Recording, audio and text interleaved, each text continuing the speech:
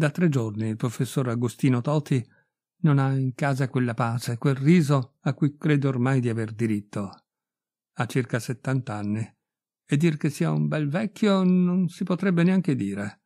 Piccoletto, con la testa grossa, calva, senza collo, il torso sproporzionato su due gambettine da uccello. Sì, sì, il professor Toti lo sa bene e non si fa la minima illusione perciò che Maddalena, una bella mogliettina che non ha ancora ventisei anni, lo possa amare per se stesso. È vero che egli se l'è presa povera e l'ha innalzata. Figliuola del bidello del liceo, è diventata moglie d'un professore ordinario di scienze naturali, tra pochi mesi con diritto al massimo della pensione.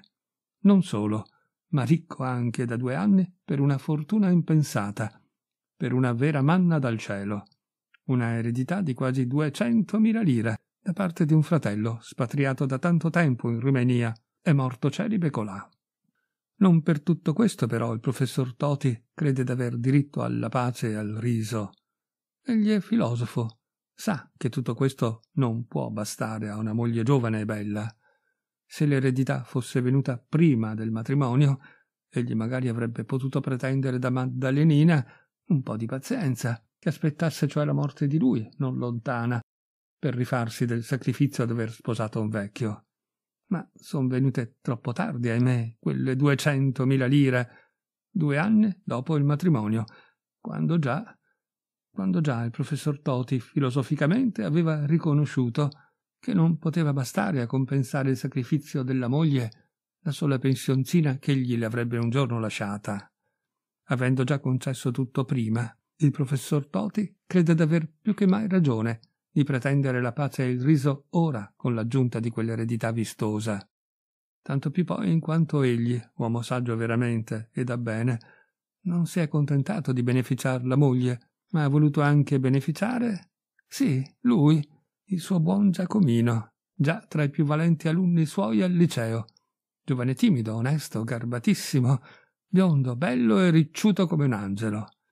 Ma sì, ma sì, ha fatto tutto, ha pensato a tutto il vecchio professore Agostino Toti. Giacomino Delisi era sfaccendato e l'ozio lo addolorava e lo avviliva. Ebbene, lui, il professor Toti, gli ha trovato posto nella banca agricola, dove ha collocato le duecentomila lire dell'eredità. C'era anche un bambino, ora, per casa, un angioletto di due anni e mezzo, a cui egli si era dedicato tutto, come uno schiavo innamorato. Ogni giorno non gli par l'ora che finiscano le lezioni al liceo per correre a casa, a soddisfare tutti i capriccetti del suo piccolo tiranno. Veramente, dopo l'eredità, egli avrebbe potuto mettersi a riposo, rinunziando a quel massimo della pensione, per consacrare tutto il suo tempo al bambino. Ma no, sarebbe stato un peccato. Da che c'è, egli vuol portare fino all'ultimo quella sua croce che gli è stata sempre tanto gravosa si è preso moglie proprio per questo, proprio perché recasse un beneficio a qualcuno, ciò che per lui è stato un tormento tutta la vita. Sposando con quest'unico intento, di beneficiare una povera giovane, egli ha amato la moglie quasi paternamente soltanto, e più che mai paternamente s'è messo ad amarla, da che è nato quel bambino, da cui quasi quasi gli piacerebbe più d'esser chiamato nonno che papà. Questa bugia incosciente, sui puri labbruzzi del bambino ignaro, gli fa pena. Mi par che anche il suo amore per lui ne resti offeso. Ma come si fa? Bisogna pur che si prenda, con un bacio, quell'appellativo dalla boccuccia di Ninì. Quel papà che fa ridere tutti i maligni, i quali non sanno capire la tenerezza sua per quell'innocente, la sua felicità per il bene che ha fatto e che seguita a fare a una donna, a un buon giovanotto, al piccino e anche a sé, sicuro, anche a sé, la felicità di vivere quegli ultimi anni in lieta e dolce compagnia, camminando per la fossa così, con un angioletto per mano. Ridano, ridano pure di lui tutti i maligni. Che risate facili, che risate sciocche. Perché non capiscono? Perché non si mettono al suo posto? Avvertono soltanto il comico, anzi il grottesco della sua situazione senza saper penetrare nel suo sentimento. Ebbene, che gliene importa? Egli è felice. Se non che, da tre giorni, che sarà accaduto. La moglie ha gli occhi gonfi e rossi di pianto, accusa un forte mal di capo, non vuole uscire di camera. Eh, gioventù, gioventù, sospira il professor Toti, scrollando il capo con un risolino mesto e arguto negli occhi e sulle labbra. Qualche nuvola, qualche temporaletto. E con Ninì s'aggira per casa, afflitto, inquieto, anche un po' irritato, perché... Via, proprio non si merita questo, lui, dalla moglie e da Giacomino. I giovani non contano i giorni, ne hanno tanti ancora innanzi a sé ma per un povero vecchio è grave perdita un giorno. E sono ormai tre che la moglie lo lascia così per casa, come una mosca senza capo, e non lo delizia più con quelle ariette e canzoncine cantate con la voce limpida e fervida, e non gli prodiga più quelle cure a cui egli ormai è avvezzo. Anche Nini è serio serio, come se capisca che la mamma non ha la testa da badare a lui. Il professore se lo conduce da una stanza all'altra, e quasi non ha bisogno di chinarsi per dargli la mano, tant'è piccolino anche lui. Lo porta innanzi al pianoforte, tocca qua e là qualche tasto, sbuffa, sbadiglia, poi siede, fa galoppare un po' Ninì sulle ginocchia, poi torna ad alzarsi. Si sente tra le spine. Cinque o sei volte ha tentato di forzar la mogliettina a parlare. Male, eh? Ti senti proprio male? Maddalenina seguita a non volergli dir nulla. Piange, lo prega d'accostar gli scuri del balcone e di portarsi Ninì di là. Vuole star sola e al buio. Il capo, eh? Poverina, le fa tanto male il capo. La lite deve essere stata grossa davvero. Il professor Toti si reca in cucina a cercare d'abbordar la servetta per avere qualche notizia da lei. Ma fa larghi giri, perché sa che la servetta gli è nemica. Sparla di lui fuori come tutti gli altri e lo mette in berlina, brutta scema. Non riesce a saper nulla neanche da lei. E allora il professor Toti prende una risoluzione eroica. Reca Nini dalla mamma e la prega che glielo vesta per benino. Perché? domanda ella. Lo porto a Spassino, risponde lui. Oggi è festa. Qui si annoia, povero bimbo. La mamma non vorrebbe. Sa che la trista gente ride vedendo il vecchio professore col piccino per mano. Sa che qualche malvagio insolente è arrivato finanche a dirgli ma quanto gli somiglia, professore, il suo figliuolo. Il professor Toti però insiste. No, a spassino, a spassino. E si reca col bimbo in casa di Giacomino De Lisi. Questi abita insieme con una sorella nubile che gli ha fatto da madre. Ignorando la ragione del beneficio, la signorina Agata era prima molto grata al professor Toti Ora, invece, religiosissima com'è, lo tiene in conto d'un diavolo, né più né meno, perché ha indotto il suo Giacomino in peccato mortale. Il professor Toti deve aspettare un bel po' col piccino dietro la porta dopo aver suonato. La signorina Agata è venuta a guardar dalla spia ed è scappata. Senza dubbio è andata ad avvertire il fratello della visita e ora tornerà a dire che Giacomino non è in casa. Eccola, vestita di nero, seria, con le occhiaie livide, stecchita, arcigna. Appena aperta la porta, investe tutta vibrante il professore. Ma come, scusi, viene a cercarlo pure in casa adesso? E che vedo? Anche col bambino?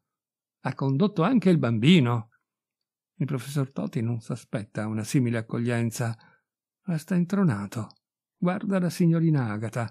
Guarda il piccino. Sorride e balbetta. Per... perché? Perché eh, non posso, non, non posso venire a. Non c'è, s'affretta a rispondere quella, asciutta e dura. Giacomino non c'è. Va bene, dice, chinando il capo il professor Toti.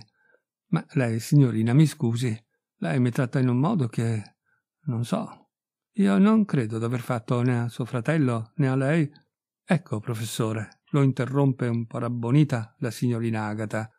Noi, creda pure, le siamo le siamo riconoscentissimi, ma anche lei dovrebbe comprendere. Il professor Toti socchiude gli occhi, torna a sorridere, alza una mano e poi si tocca parecchie volte con la punta delle dita il petto, per significarle che, quanto a comprendere, lasci fare a lui. Sono vecchio, signorina, dice, e comprendo. Tante cose comprendo io. E guardi, prima di tutte, questa. che certe furie bisogna lasciarle svaporare e che quando nascono malintesi la miglior cosa è chiarire. Chiarire, signorina, chiarire francamente, senza sotterfugi, senza riscaldarsi. Non le pare? Certo, sì, riconosce almeno così in astratto la signorina Agata. E dunque, riprende il professor Toti, mi lasci entrare e mi chiami Giacomino. Ma se non c'è. Vede, no, eh, non mi deve dire che non c'è. Giacomino è in casa e lei me lo deve chiamare. Chiariremo tutto con calma, glielo dica, con calma. Io sono vecchio e comprendo tutto, perché sono stato anche giovane, signorina. Con calma, glielo dica. Mi lascia entrare. Introdotto nel modesto salotto, il professor Toti siede con Nini tra le gambe, rassegnato ad aspettare anche qua un bel pezzo che la sorella persuada Giacomino. Qua no, Nini, buono, dice di tratto in tratto al bimbo, che vorrebbe andare a una mensoletta dove luccicano certi gingilli di porcellana. E intanto si scapa a pensare che diamine può essere accaduto di così grave in casa sua senza che egli se ne sia accorto per nulla. Maddalenina è così buona. Che male può ella aver fatto da provocare un così aspro e forte risentimento qua, anche nella sorella di Giacomino? Il professor Toti, che ha creduto finora a una bizza passeggera, comincia a impensierirsi e a costernarsi sul serio. Ah, ecco Giacomino finalmente. Dio, che viso alterato, che aria rabbuffata. E com'è? Ah, questo no. Scansa freddamente il bambino, che gli è corso incontro gridando con le manine tese Jamie, Jamie! Giacomino, esclama ferito con severità il professor Toti. Che ha da dirmi, professore? s'affretta a domandargli quello, schivando di guardarlo negli occhi. Io sto male, ero a letto. Non sono in grado di parlare e neanche di sostener la vista d'alcuno. Ma il bambino. Ecco, dice Giacomino, e si china a baciare Ninì. Ti senti male? riprende il professor Toti un po' racconsolato da quel bacio. Lo supponevo, e son venuto per questo. Il capo, eh? Siedi, siedi. Discorriamo. Qua, Ninì. Senti, Jamie la bua? Sì, caro, la bua. Qua, povero Jamie. Sta bonino. Ora andiamo via. Volevo domandarti, soggiunge, rivolgendosi a Giacomino, se il direttore della banca agricola ti ha detto qualche cosa? No, perché? fa Giacomino turbandosi ancor più. Perché ieri gli ho parlato di te, risponde con un risolino misterioso il professor Toti. Il tuo stipendio non è molto grosso, figliuol mio, e sai che una mia parolina. Giacomino si torce sulla sedia, stringe le pugna fino ad affondarsi le unghie nel palmo delle mani. Professore, io la ringrazio, dice, ma mi faccia il favore, la carità di non incomodarsi più per me, ecco. Ah sì? risponde il professor Toti con quel risolino ancora sulla bocca. Bravo, non abbiamo più bisogno di nessuno, eh? Ma se io volessi farlo per mio piacere. Caro mio, ma se non debbo più curarmi di te, di chi vuoi che mi curi, io? Sono vecchio, Giacomino. E ai vecchi, badiamo che non siano egoisti, ai vecchi che hanno tanto stentato come me a prendere uno Stato Piace di vedere i giovani come te meritevoli farsi avanti nella vita per loro mezzo e godono della loro allegria, delle loro speranze, del posto che si prendono man mano nella società. Io poi per te, via, tu lo sai, ti considero come un figliuolo. Che cos'è? Piangi? Giacomino ha nascosto infatti il volto tra le mani e sussulta come per un impeto di pianto che vorrebbe frenare. Nini lo guarda sbigottito. Poi, volgendosi al professore, dice Jamie bua. Il professore si alza e fa per posare una mano sulla spalla di Giacomino, ma questi balza in piedi, quasi ne provi ribrezzo. Mostra il viso scontraffatto come per una fiera risoluzione improvvisa e gli grida esasperatamente Non mi s'accosti, professore, se ne vada, la scongiuro, se ne vada. Lei mi sta facendo soffrire una pena d'inferno. Io non merito cotesto suo affetto e non lo voglio, non lo voglio. Per carità, se ne vada, si porti via il bambino e si scordi che io esisto. Il professor Toti resta sbalordito. Domanda: Ma perché? Glielo dico subito, risponde Giacomino. Io sono fidanzato, professore. Ha capito? Sono fidanzato. Il professor Toti vacilla, come per una mazzata sul capo. Alza le mani, balbetta. Tu? Fidanzato? Sì, signore, dice Giacomino. E dunque basta. Basta per sempre. Capirà che non posso più vederla qui. Mi cacci via? domanda quasi senza voce il professor Toti. No, s'affretta a rispondergli Giacomino, dolente. Ma è bene che lei. che lei se ne vada, professore. Andarsene? Il professore casca a sedere sulla seggiola. Le gambe gli si sono come stroncate sotto. Si prende la testa tra le mani e geme. Oddio. Oh, che rovina. Dunque, per questo. Povero me. Oh, povero me. Ma quando? Come? Senza dir nulla. Con chi ti sei fidanzato? Qua, professore, da un pezzo, dice Giacomino, con una povera orfana, come me, amica di mia sorella.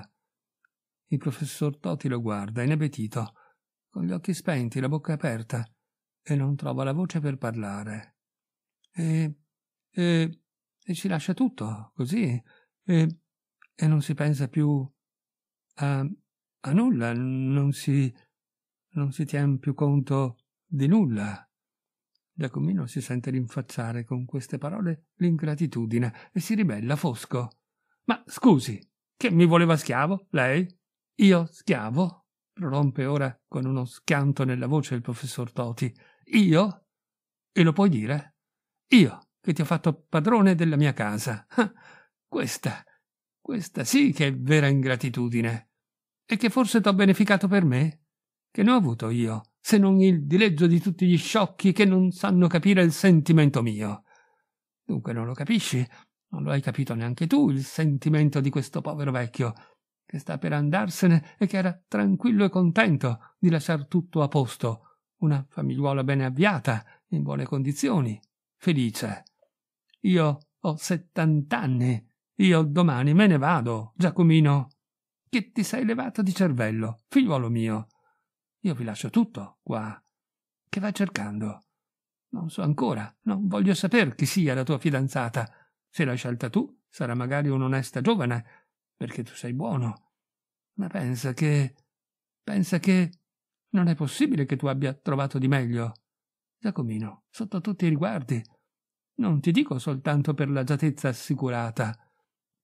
Ma tu hai già la tua famigliuola, in cui non ci sono che io solo di più, ancora per poco. Io, che non conto più nulla. Che fastidio vi do, io. Io sono come il padre io posso anche, se volete, per la vostra pace. Ma dimmi com'è stato, com'è accaduto, come ti si è voltata la testa, così, tutto a un tratto. Dimmelo, dimmelo. E il professor Toti s'accosta a Giacomino e vuol prendergli un braccio e scuoterglielo. Ma quegli si restringe tutto in sé, quasi rabbrividendo, e si schermisce. Professore! grida. Ma come non capisce? Come non s'accorge che tutta codesta sua bontà Ebbene, mi lasci stare, non mi faccia dire.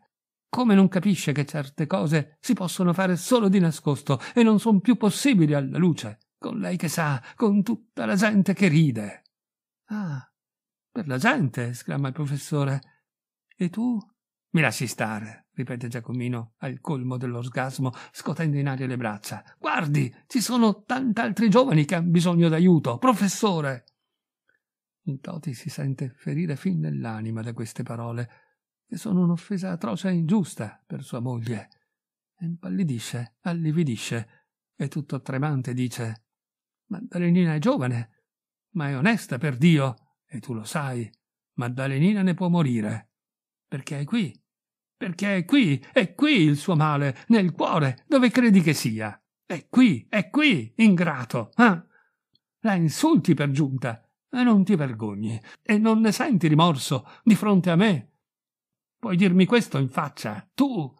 Credi che ella possa passare così da uno all'altro, come niente? Madre di questo piccino, ma che dici? Come puoi parlar così? Giacomino lo guarda trasecolato, allibito. Io? dice. Ma lei piuttosto, professore, scusi, lei, lei come può parlar così? Ma dice sul serio. Il professor Toti si stringe ambo le mani sulla bocca, strizza gli occhi, squassa il capo e rompe in un pianto disperato. Ninì, anche lui allora, si mette a piangere. Il professore lo sente, corre da lui, lo abbraccia. Ah, povero Ninì mio, ah, che sciagura. Ninì mio, che rovina. Che sarà della tua mamma ora? E che sarà di te, Ninì mio, con una mammina come la tua, inesperta, senza guida? Ah, che baratro! Solleva il capo e guardando tra le lagrime Giacomino, piango, dice, perché mio è il rimorso. Io t'ho protetto, io t'ho accolto in casa, io le ho parlato sempre tanto bene di te, io, io le ho tolto ogni scrupolo d'amarti, e ora che ella ti amava sicura, madre di questo piccino, tu... Si interrompe, è fiero, risoluto, convulso. Bada, Giacomino, dice, io sono capace di presentarmi con questo piccino per mano in casa della tua fidanzata. Giacomino, che su freddo, su per la braccia ardente, e sentirlo parlare e piangere così, a questa minaccia giunge le mani, gli si fa innanzi e scongiura. Professore, professore, ma lei vuol dunque proprio coprirsi di ridicolo? Di ridicolo, grida il professore, e che vuoi che me ne importi, quando vedo la rovina d'una povera donna, la rovina tua, la rovina d'una creatura innocente. Vieni, vieni, andiamo via, Nini, andiamo. Giacomino gli si para davanti. Professore, lei non lo farà. Io lo farò, gli grida con viso fermo il professor Toti, e per impedirti il matrimonio sono anche capace di farti cacciare dalla banca. Io ti do tre giorni di tempo. E voltandosi sulla soglia, col piccino per mano, pensaci, Giacomino, pensaci.